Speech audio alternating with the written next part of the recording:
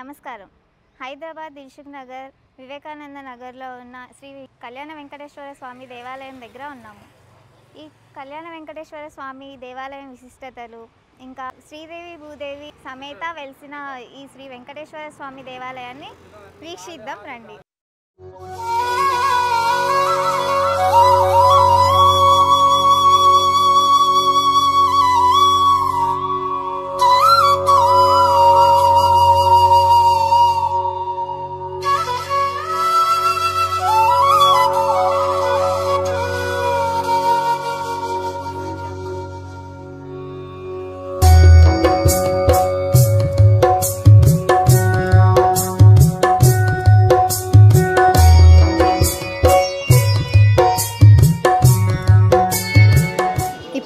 దేవాలయ విశేషాల గురించి దేవాలయ అర్చకుల గారితో మాట్లాడి తెలుసుకుందాం.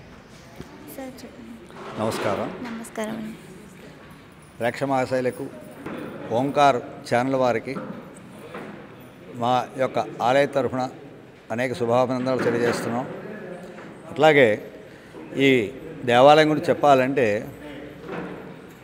ఇక్కడ ప్రస్తుతం కన్నా పూర్వం గురించి తెలుసుకోవాలి మనం.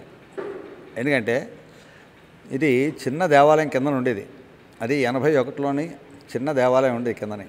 అప్పుడు అందరూ సేవించుకునేవారు పరిమాణాలను ఈ విధంగా కొన్నాళ్ళు అయిన తర్వాత మన కాలనీ తాలూకా ఈ వివి నగర్ కాలనీ తాలూకా అందరూ కూడా సహకరించి వాళ్ళందరూ కూడా అనుకొని అందరూ గుమ్మికూడిస్తారు మీటింగ్ పెట్టుకొని ఈ విధంగా దేవాలయాన్ని డెవలప్ చేద్దాం అనే సదుద్దేశంతో అందరినీ పెద్దవాళ్ళు కలిసి కలిసి చేసి అయితే ఇక్కడ ఏమిటి వెళ్తాం ఏ గుడి కట్టాలి? కింద వెంకటేశ్వర గుడి ఉంది కాబట్టి వెంకటేశ్వర గుడే కట్టాలి. అలా అప్పుడు అయితే వెంకటేశ్వర గుళ్ళు అంటే చాలా ఉన్నాయి. అంటే ప్రశస్తమైన దేవాలయం మనకు కావాలి. అన్న సద్దేశంతో మాకు ఇక్కడ స్థానాచార్య గారుగా సముద్రాల రమాకాంతాచార్య గారు మా ఇక్కడ ప్రతిష్ట చేశారు కార్యక్రమం. అది ఏమిటి? అది ఎవరి చేతంటే మన చిన్నజీయర్ స్వామివారి శ్రీ శ్రీ శ్రీ చిన్నజీయర్ స్వామివారి చేత ఇది ప్రతిష్ఠింపబడింది. ఎనభై ఒకటి నుంచి ముందు చిన్న విగ్రహంతో ఉండేది. అలాగే డెవలప్ చేసి ఇది రెండు వేల పదమూడవ సంవత్సరం మే నెల అంటే వైశాఖ శుక్ల పాఠ్యమి నుంచి పంచం వరకు పాంచాహన దీక్షగా పాంచరాత్ర ఆగమ శాస్త్ర ప్రకారముగా ఇక్కడ శ్రీ శ్రీ శ్రీ కళ్యాణ వెంకటేశ్వర స్వామి శ్రీదేవి భూదే సమేత కళ్యాణ వెంకటేశ్వర స్వామిని ప్రతిష్ఠేద్దామని నిర్ణయించుకొని ముహూర్తం పెట్టి విగ్రహాలు తెచ్చి ఆ విధంగా ఎక్కడైనా సరే మన దేవాలయంలోని వెంకటేశ్వర దేవాలయం ఏంటంటే ఓన్లీ వెంకటేశ్వర స్వామి ఉంటారు. పక్కని శ్రీదేవి భూదేవి ఉండరు. పక్క ఉభయవర్లు వేరే వేరే గుళ్ళు చిన్న గుళ్ళు ఉంటాయి. కానీ ఇక్కడ మాత్రం ఒకే పీఠం మీద మూడు విగ్రహాలు ఉంటాయి మనకి. అంటే స్వామివారు శ్రీదేవి భూదేవి సమేతంగా ఒకే పీఠం మీద మూడు విగ్రహాలు ఉన్నాయి కాబట్టి ఇది కళ్యాణ వెంకటేశ్వర స్వామి అంటారు. ఇదే మన తిరుపతిలోని నారాయణవరంలో ఉంది మనకి. దాని ప్రశస్తం ముఖ్యంగా అక్కడ. ఇక్కడ చుట్టుపక్కల చాలా గుళ్ళు ఉన్నాయి వెంకటేశ్వర స్వామి వారి. కానీ కళ్యాణ వెంకటేశ్వర స్వామి లేదు. కాబట్టి ఇక్కడ ప్రశస్తంగా ప్రతిష్ఠించబడింది ముఖ్యంగా.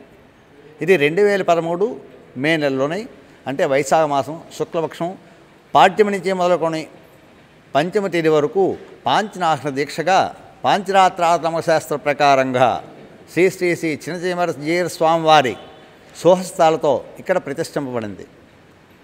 అందరూ కూడా అప్పటి నుంచి కూడా నిత్య కైంకేరాల స్వామివారి సమర్పిస్తున్నారు. తప్పకుండా నిత్యంగా జరుగుతున్నాయి సప్ ఇక్కడ ఇంకోటి ఏంటంటే ప్రతి నెల కార్యక్రమాలు జరుగుతుంటాయి. నిత్యం కలుగుతుంటాయి ఎగస్ట్రా కార్యక్రమం అన్నమాట. ఎగస్ట్రా కార్యక్రమం అంటే స్వామివారికి శ్రవణ నక్షత్రం నాడు ఇక్కడ తిరుమంజన మహోత్సవం అంటే అభిషేక మహోత్సవం జరుగుతుంది. ఉదయం నాలుగు గంటకే బ్రహ్మూర్త కాలంలో మేము చేస్తాం. అలాగే అలాగే కళ్యాణ మహోత్సవం. ప్రతి నెల కూడా మాస కళ్యాణ మహోత్సవం. ఇక్కడ ఏంటంటే అందరికీ ఖాళీ ఉండాలని చెప్పేసి స్వామివారి కానీ ఇచ్చి కళ్యాణం ఎప్పుడైనా చేయొచ్చు స్వామి కళ్యాణం. కానీ ఏంటంటే మనం అందరికీ సెలవు ఉంటుందా ఆదివారం పెట్టుకున్నాం మేము. అది ఏంటి? ప్రతి నెలలో కూడా మొదటి ఆదివారం నాడు కళ్యాణ మహోత్సవం చేస్తాం. అట్లాగే ప్రతి పౌర్ణమికి సుదర్శన మహాహోమం. కంపల్సరిగా ప్రతి పౌర్ణమి కూడా సుదర్శన మహాహోమం చేస్తుంటాం ఇక్కడ. దానికి కూడా భక్తులు చాలామంది పాల్గొంటారు.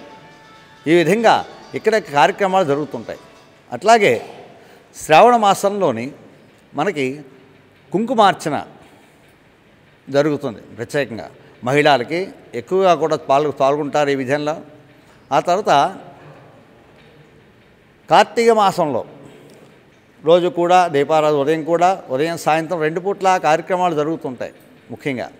అట్లాగే సాయంత్రం దీపోత్సవ కార్యక్రమం చేస్తుంటాం ప్రతిరోజు కూడా ఇక్కడ. ఆకాశ దీపారత పూజ అనమాట రోజు కంపల్సరీగా చేస్తుంటాం. ఈ విధంగా కార్యక్రమాలు కార్తీక మాసంలో అవుతూ ఉంటుంది. ఆ తర్వాత ధనుర్మాసం. ఈ ధనుర్మాసం ప్రాశస్తం ఏంటి? ముఖ్యంగా గోదాదేవి తాలూకా కార్యక్రమం. రంగనాథస్వామి గోదాదేవి తాలూకా తిరుప్పాయ తిరుప్పావే. ఇక్కడ పారాయణ మహోత్సవం రోజు చేస్తాం. ఈ విధంగా సేవాకాలం ఉదయం అన్నీ కూడా నాలుగు గంటలుగా ప్రారంభమవుతాయి కార్యక్రమాలు. మాకు ఇక్కడ శ్రీగోష్ఠి సమాజం ఇక్కడ మా శ్రీగోష్ఠి వారు ఉన్నారు వాళ్ళందరూ కూడా. వాళ్ళందరూ కూడా ప్రతిరోజు ఈ నెల్లాళ్ళు నాలుగు గంటలకే వచ్చేసి పారాయణ చేస్తారు. ఊర్లో అట్లాగే ఇలాగ మూడు నాలుగు కాలనీలు వెళ్ళి నగర సంకీర్తన చేస్తారు. ఆ తర్వాత కూడా ఇక్కడ తీర్థ ప్రసాద ప్రసాద వినియోగాలు గోష్ఠి అన్నీ కూడా జరుగుతాయి చక్కగా. ఎప్పుడైతే చిన్నజీవి స్వామి ప్రతిష్ట చేశారో అప్పటి నుంచి కూడా ఇప్పటి వరకు చక్కగా అన్ని కార్యక్రమాలు నిర్భీటంగా నిర్వాటంగా తప్పకుండా ఇక్కడ జరుగుతున్నాయి. ఈ విధంగా చెప్పుకోవడానికి ఇంక ఇంకోటి ఏంటంటే భక్తులు కూడా మహాసంకల్పంగా సమర్పించుకుంటున్నారు ఇక్కడ సేవకు కూడా. దూర దూరం నుంచి వస్తున్నారు ఇక్కడికి. కళ్యాణ మహోత్సవం అయితే ముఖ్యంగా చాలా పేరిడింది ఇక్కడ కళ్యాణం చేయించుకుంటే కళ్యాణం అవ్వడం గ్యారంటీ అనే ప్రసిద్ధి కూడా వచ్చింది ఇక్కడ మాకు. మేము చెప్పకూడదు మేము డప్ప కొట్టుకున్నట్టు ఉంటుంది. అది ప్రజల భక్తులే చెప్తున్నారు వచ్చి మాకు. ఈ విధంగా చాలా చక్కగా జరుగుతున్నాయి కార్యక్రమాలు ఇక్కడ. దివ్యంగా జరుగుతున్నాయి. పెరుమాళ్ళు చేయించుకుంటున్నారు ముఖ్యంగా మన చేత. ఇది ప్రశస్తం ముఖ్యమైనది. ఈ దేవాలయ ప్రశస్తం కూడా చాలా చక్కగా జరుగుతున్నారు ఇక్కడ. అందరూ కూడా భక్తులు సహకరిస్తున్నారు. అన్ని కార్యక్రమాలు దిగ్విజయంగా జరుగుతున్నాయి.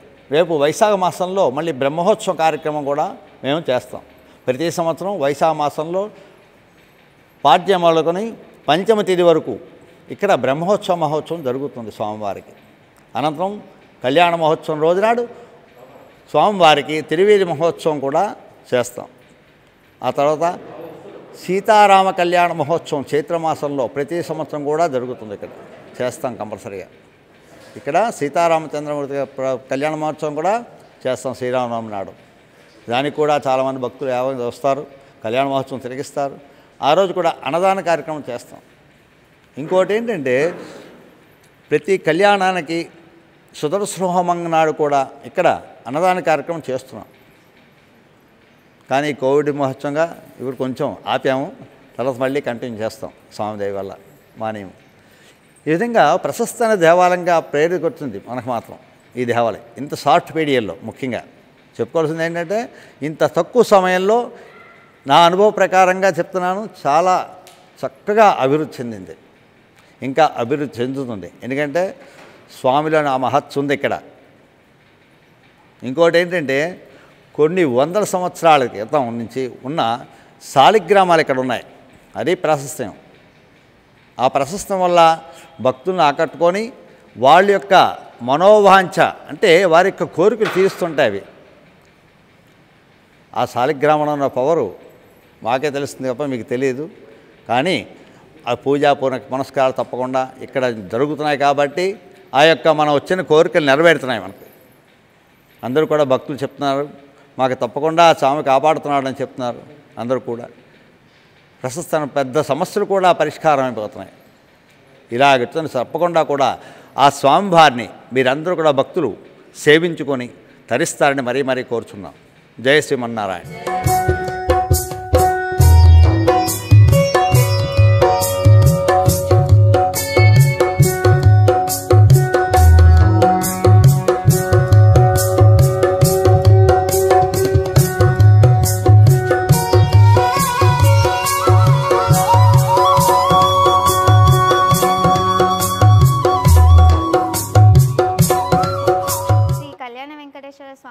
దేవాలయంలోని కమిటీ మెంబర్స్తో మాట్లాడి ఈ దేవస్థల విశేషాలను తెలుసుకుందాం రండి.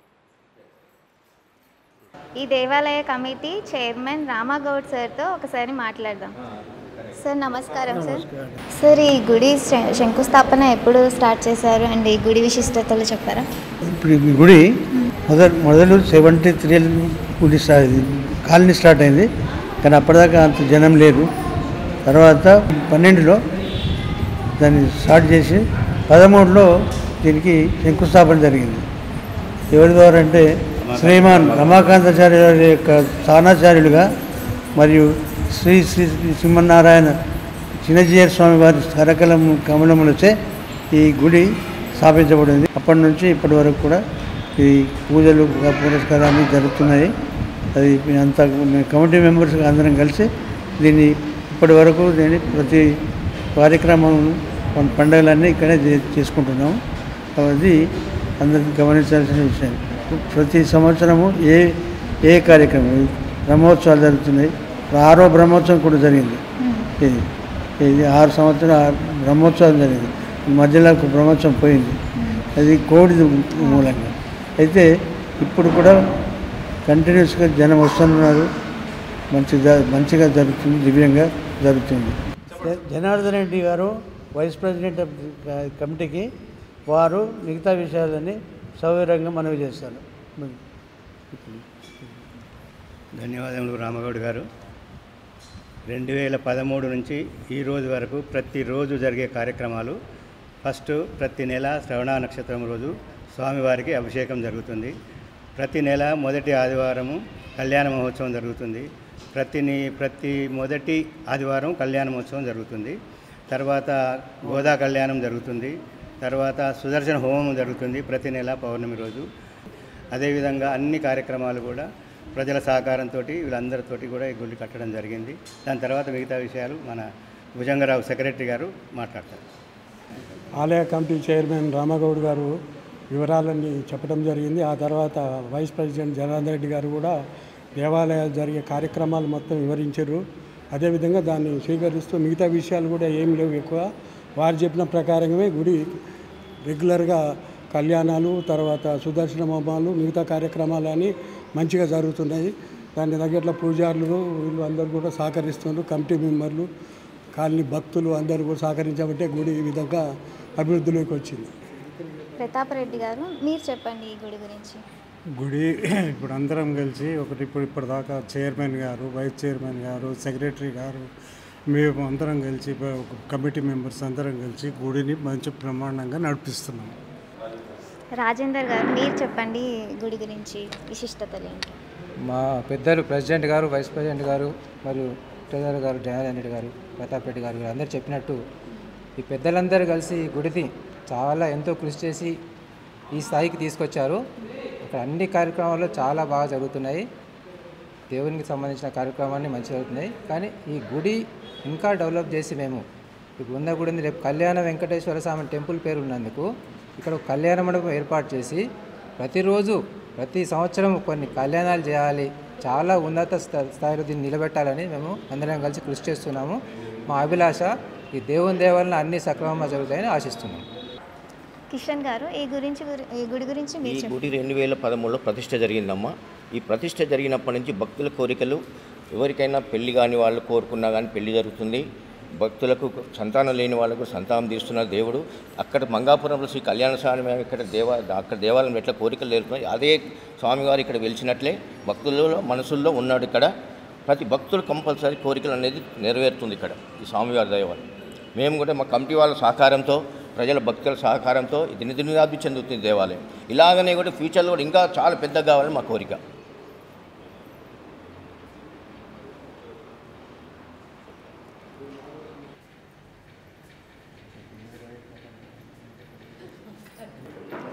మనం ఇప్పుడు ఈ దేవాలయం గురించి భక్తుల ద్వారా తెలుసుకుందాం రండి ఇప్పుడు ఈ దేవాలయం గురించి భక్తులను అడిగి తెలుసుకుందాం రండి అమ్మ నమస్కారం. నమస్తే. ఈ గుడికి మీరు ఎప్పటి నుంచి వస్తున్నారు? ఈ గుడికి మేము గుడి స్టార్టింగ్ నుంచి వస్తున్నాం. సెవ దాదాపు సెవెన్ ఇయర్స్ అయింది. ఈ సెవెన్ ఇయర్స్ నుంచి కూడా ప్రతిరోజు సాయంత్రం లక్ష్మీ విష్ణు పారా సహస్రనామ పారాయణం చేస్తాము. మాది శ్రీగోష్ఠి అనమాట శ్రీ ఏకాదశికి ప్రతి ఏకాదశికి పదకొండు సార్లు లక్ష్మి విష్ణు సహస్రనామం చేసి హనుమాన్ చాలీసా? అవి పారాయణం చేస్తాం అనమాట మళ్ళీ అందరం కలిసి ఈ సెవెన్ ఇయర్స్ నుంచి భక్తులందరూ మా గోష్ఠి మెంబర్స్ అందరము అమౌంట్ పెట్టుకొని స్వామివారికి అమ్మవార్లిద్దరికి సూత్రం చైన్లు మళ్ళీనేమో కుంభకిరీటం పాదపద్మం చేయించాము అమ్మ మీ పేరు? కనకదుర్గ. ఈ గుడిలో ఏం చేస్తూ ఉంటారు? ఇక్కడ సేవ చేస్తాం స్వామికి మేము. ఓకే మార్నింగ్ నుంచి ఈవినింగ్ వరకు ఇక్కడే ఉంటారు. ఇక్కడే ఉంటాం. ఓకే ఏం చేస్తుంటారు? ఇక్కడంతా శుభ్రం చేయటం స్వామికి కావాల్సిన సా సామాన్లన్నీ శుభ్రం చేయటం స్వామికి ఏది కావాలంటే అది చూసుకోవటం ఇదంతా శుభ్రం చేయటం మేమే. నేను మా వారు. ఓకే. ఈ గుడి విశిష్టత ఏమైనా తెలుసు? ఈ గుడిలో అన్నిటికన్నా నాకు నచ్చింది ఏంటంటే మేము వచ్చి రెండు సంవత్సరాలు ఇక్కడికి. ఈ రెండు సంవత్సరాల నుంచి ఇక్కడ ఎవరు ఎదురుపడ్డా కానీ నమస్కారం ఇంకా ఏదో పద మనం అవి వాడం అనమాట జై శ్రీమన్నారాయణ అనుకుంటాం. ఎదుటి వ్యక్తి రాగానే అంటే భగవంతుడి మీద భక్తి ప్రతి మనిషిలో కనిపించింది ఇక్కడికి రాగానే. గుడి ఆవరణలో కాలు పెట్టగానే ఇంకా ఇది మనిషి అంటే జై శ్రీమన్నారాయణ అంటే భగవంతుడు మనకు అక్కడే కనిపిస్తాడు. ఎక్కడో కాదు. కానీ చాలా ప్రసిద్ధి గల స్వామి అనుకున్న కోరికలన్నీ తీరుతాయి. నాకు చాలా అలా ఎదురైనాయి. మేము ఎక్కడి నుంచో వచ్చాము ఆంధ్ర మాది. అక్కడి నుంచి వచ్చాం. కానీ వచ్చి ఈ రెండు సంవత్సరాలు స్వామి దయ వల్ల నేను చాలా తెలుసుకున్నాను ఇక్కడ విషయాలు కూడా అన్నీ అమ్మ మీరు చెప్పండి. జయ సింహనారాయణ నా పేరు సంగీత. మేము గుడి స్టార్టింగ్ నుంచి వస్తున్నాము ఇక్కడ. ప్రతిరోజు పొద్దున సాయంత్రం వస్తాము సేవ చేసుకుంటాము. ప్రతి శ్రావణ నక్షత్రం రోజు అభిషేకం ఉంటుంది. ఫస్ట్ ఫస్ట్ అయిన ఫస్ట్ ఆదివారం రోజు కళ్యాణం ఉంటుంది. ప్రతి దాంట్లో మేము పాల్గొంటాము. స్వామి అనుగ్రహిస్తాడు ప్రతిసారి మాకు.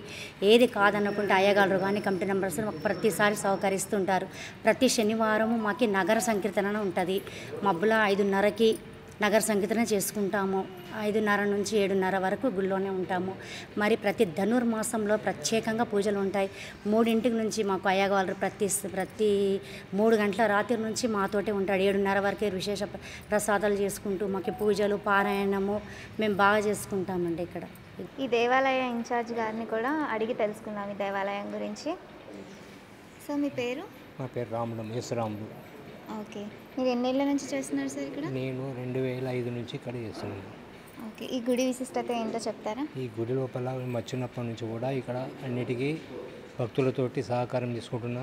గుడి ప్ర- ప్రసాదాలకే కానీ అర్చనలకే కానీ కళ్యాణంకు కానీ హోమంకు కానీ ప్రతి ఒక్క భక్తుల దగ్గర స్వీకరించుకొని గుడి నడుపుతు నడుపుతున్నాం ఇప్పటిదాకైతే ఆతడే బ్రహ్మణ్య దైవము ఆదిమూలమైన వాడు ఆతడే బ్రహ్మణ్య దైవము ఆదిమూలమైన వాడు ఆతని మానుటలెల్లా అమిధి పూర్వకము ఆతడే బ్రహ్మణ్య దైవము ఆదిమూలమైన వాడు ఎవ్వని పేర పిలుతురు ఇలా పుట్టిన జీవులా నవ్వుచూ మాస నక్షత్ర నామూలా అవ్వల ఎవ్వని కేశవాది నామములే రవ్వలాచమనాలు పలికింతురు. అతడే బ్రహ్మణ్య దైవము ఆదిమూలమైనవాడు. నారదుడు పలికేటి నామమది యౌవనిది నారదుడు పలికేటి నామమది యౌవనిది గౌరీ నుడిగేటి रामकथये नदी तारकमयी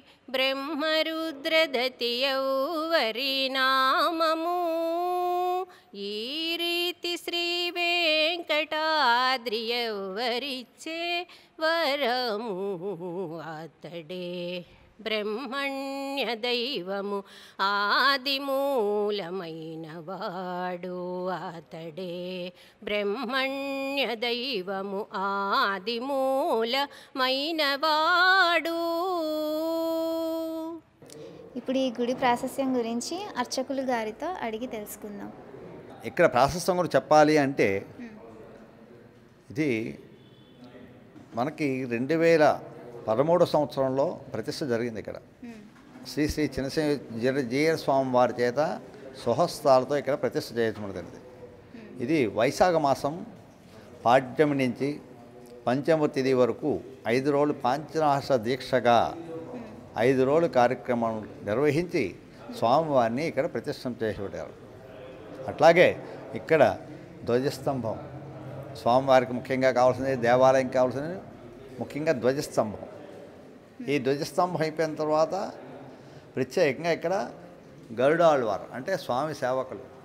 ఎప్పుడూ కూడా స్వామి మనకి రెడీగా ఉంటారట. ఎందుకు గరుడాళ్వారు ఎందుకు రెడీగా ఉంటారు? స్వామి ఎక్కడికి భక్తులను కాపాడడానికి వెళ్తారో ఎప్పుడు పైన అవుతారో తెలియదు కాబట్టి అందుకు అతను రెడీగా ఉంటారట గరుడాల వారు గరుడాల వారు రెడీగా ఉంటారట అందు గురించి. ఆ స్వామి అది ముఖ్యమైన సేవకులు అన్నమాట స్వామికి. అంటే మన వాహనం ఎక్కడికైనా వెళ్ళాలంటే మనకి ఏదో వాహనం పట్టుకుని వెళ్తాం కదా? అలాగే స్వామివారి వాహనం అన్నమాట గరుడాల వారు. ముఖ్యంగా. ఆ తర్వాత స్వామివారి సేవకులు. జయ విజయులు అంటారు వాళ్ళిద్దరిని కూడా. తర్వాత ద్వారపాలకులు. ఆ ద్వారానికి ఇరువైపులా ద్వారపాలకులు ఉంటారు మనకి. వాళ్ళిద్దరు కూడా. ఆ ద్వారపాలకులు ఏం చేస్తారు? మనం దేవాలయం మోసిన తర్వాత అన్యులు ఎవరిని ప్రవేశించకుండా. అంటే మనం దేవాలయం తలుపులు వేసినా మనం వెళ్ళాం ఎలాగను. మాయాక్రాంతంగా ఎవరైనా రాక్షస సమేతంగా ఎవరైనా వచ్చారనుకోండి అలాంటి వాళ్ళని కూడా లోపలికి ఏకాంత సేవలో ఉన్నారు స్వామి వెళ్ళడానికి వీలు లేదు అని వాళ్ళు కాపలా కాస్తారట. ఆ విధంగా వాళ్ళిద్దరికి ప్రాశస్యం. ఆ తర్వాత ఇక్కడ గుడి చుట్టూ గుడి బంద్ అయిన తర్వాత మనం ఏం చేస్తామంటే ముఖ్యంగా బలిహరిణాన్ని ఉదయం సాయంత్రం తప్పకుండా వేస్తాం. అవి ఎక్కడ వేస్తామంటే ముందు నుంచి వెనక వరకు చుట్టూ అష్ట దిక్పాలకులు ఉంటారు. ఎనిమిది దిక్పాలకులు. ఎనిమిది దిక్కులకి ఎనిమిది దిక్పాలకులు ఉంటారు. వాళ్ళందరూ కూడా రోజు బలి వేస్తాం మేము. ఆ బలి వేసిన తర్వాత ఎందుకు వాళ్ళు వేస్తాం? ఓ పని చేయాలంటే మనకి శక్తి ఉండాలి. అట్లాగే ఈ దేవాలయాన్ని కాపాడడానికి వాళ్ళకి శక్తి ఉండాలి. అందుకు వాళ్ళకి రోజు కూడా మేము భక్తిగా మేము బలిహరణాన్ని రోజు ఉదయం సాయంత్రం సమర్పిస్తాం. అప్పటి నుంచి కూడా రోజు ఉదయం గుడి బందే నుంచి మళ్ళీ తీసిన వరకు మళ్ళీ రాత్రి బందే నుంచి ఉదయం మళ్ళీ తీసిన ఉదయం మళ్ళీ సేవ చేసిన మళ్ళీ ఎప్పుడైతే మేము వస్తామో అప్పటి వరకు వాళ్ళది బాధ్యత అనమాట అంటే వాళ్ళు గుడి కాపలాదారులు అనమాట మనం పెట్టుకుంటాం మన సెక్యూరిటీ. అది అక్కలేదు స్వామికి సేవకులు వాళ్ళు ముఖ్యంగా. అదే అనమాట అక్కడ సేవకులు ఎవరంటే వాళ్ళు. మన మనం ఎప్పుడూ ఉంటుంటాం మన ఊసు వేరు. కానీ స్వామికి సేవకులు అసలు సేవకులు అంటే వాళ్ళే. వీళ్ళ ముగ్గురు వాళ్ళు ఎనమండరు మొత్తం పదకొండు మంది సేవకులు వాళ్ళకి. వాళ్ళు కంపల్సరీ గుడిని కాపాడే శక్తి వాళ్ళకే ఉంది మనం బాహ్యం కాపాడినా అంతరంగా కాపాడిన వాళ్ళు వాళ్ళే. అది గుడిసాల ప్రాముఖ్య ప్రతి గుడికి కూడా ఇలా ఉంటుంది. ఉండాలి కూడాను. అలా లేని చిన్న చిన్న గుళ్ళు ఉంటాయి కొన్ని. కానీ అవి లెక్కలో రావు గుడి కింద రావు. ధ్వజస్తంభం లేకపోతే గుడి కింద రాదు ముఖ్యంగా. అది మందిరం కింద వస్తుంది. ధ్వజస్తంభం కంపల్సరీగా ప్రతి దేవాలయంకి ఉండాలి. అలాగుంటేనే గుడి అంటారు దాన్ని. దేవాలయం అనాలి లేకపోతే మందిరం అనాలి దాన్ని.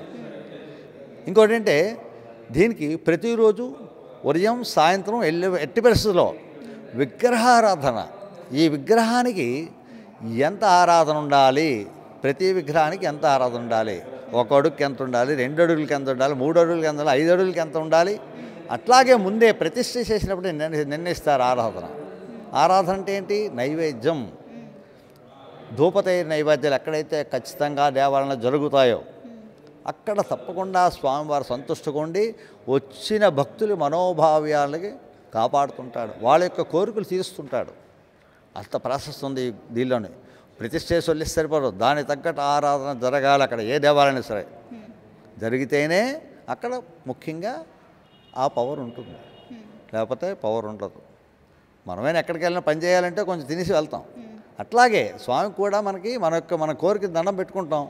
ఎంతో భక్తులు ఎందుకు వస్తారు? బాధలతో వస్తారు భగవంతుడి దగ్గరికి. మొరపెట్టుకున్నప్పుడు వాళ్ళకి ఎలా చే- సేవ చేయాలంటే దానికి తగ్గ ఆరాధన అక్కడ ఉండాలి. దూపనే నైవేద్యాలు ఖచ్చితంగా చేస్తుండాలి. చేస్తుంటేనే ఆ యొక్క పవర్ అక్కడ నిలబడి వచ్చిన భక్తుల కోరిక తీరిస్తే అలాగే జనాభా పెరుగుతుంది. ఆ విధంగా కూడా మనకి తప్పకుండా స్వామివారి పవరు అలా ఉంటూనే ఉంటుంది ఎల్లకాలం కూడా. ఈ విధంగా ఈ గుడి యొక్క ప్రశస్త ముఖ్యం చాలా ముఖ్యమైనది. ప్రతిసారి కూడా అనుకుంటుంటాను. ఎందరికో చెప్పాలని. కానీ మీ మూలంగా ఓంకార ఛానల్ మూలంగా మీ అందరికీ తెలియజేస్తున్నాను. జయ శ్రీమన్నారాయణ. జయ శ్రీమన్నారాయణ.